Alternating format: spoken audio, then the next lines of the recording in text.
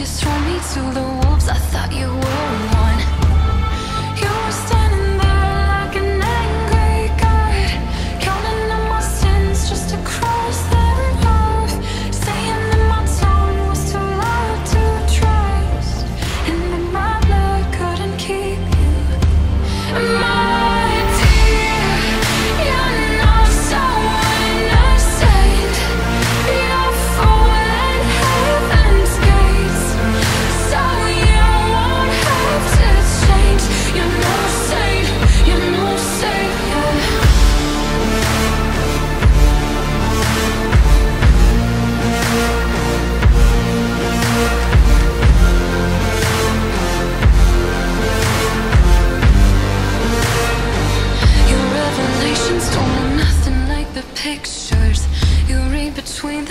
and don't stick to the scriptures. You only follow rules if others follow.